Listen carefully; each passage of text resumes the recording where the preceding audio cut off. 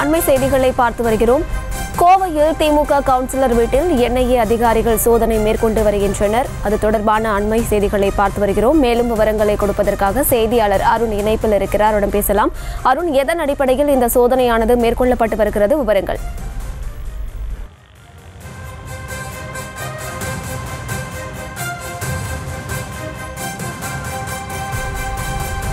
திமுக councillor வீட்டில் NIA அதிகாரிகள் சோதனை மேற்கொண்டு வருகின்றனர். கோவை எண்பத்தி இரண்டாவது வார்டு திமுக கவுன்சிலர் முபஷிரா வீட்டில் தேசிய புலனாய்வு முகமை அதிகாரிகள் சோதனை மேற்கொண்டு வருகின்றனர்.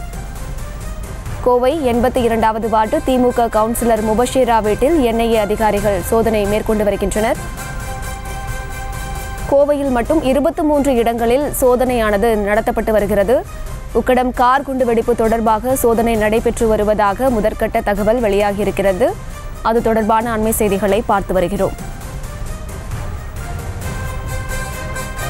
இது தொடர்பான மேலும் விவரங்களை பின்னர் வரும் செய்தி தொகுப்பில் பார்க்கலாம்.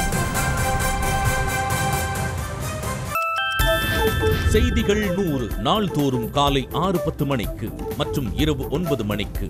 நமது நியூஸ் தமிழ் தொலைக்காட்சியில் காண தவறாதீர்கள்.